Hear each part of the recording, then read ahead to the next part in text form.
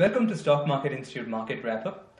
Today's market was on a positive end as Sensex gained by 958 points and Nifty gained by 276 points. Today's top stocks were power, metal and auto. Today's IPO news. Paras Defence, it was a final day as the issue oversubscribed by 68 times and HNI portion booked 94 times. And the share allotment will get finalized by September 28th.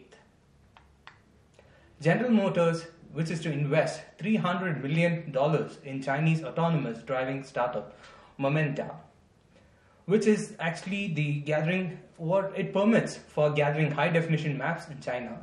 It is also backed by Toyota Motors and Daimler AG.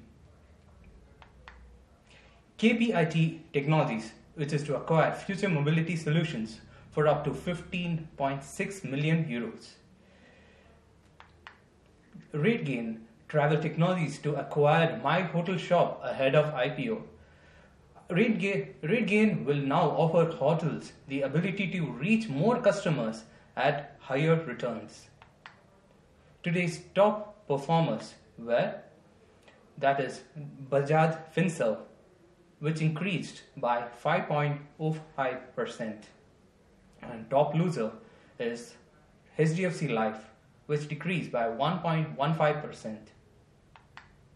Today's gold, which decreased by 302 per, 302 rupees per 10 grams, and silver, which decreased by 355 per kg.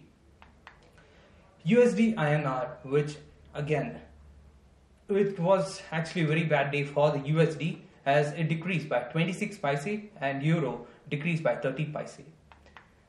Petrol and diesel do not have any changes and crude which decreased by 5 rupees.